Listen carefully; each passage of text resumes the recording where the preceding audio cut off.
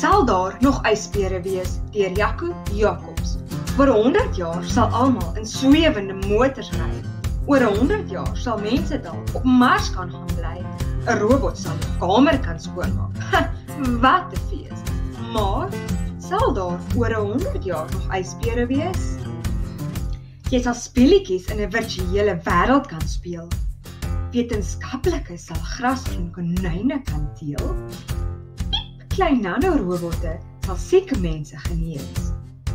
Maar sal daar oor 100 jaar nog ysbere wees? Oor 100 jaar sal vliegtye soos 'n ruimteskepe lyk. Oor 100 jaar sal almal 3D televisie kyk. Al hierdie dinge het ek iewers gelees.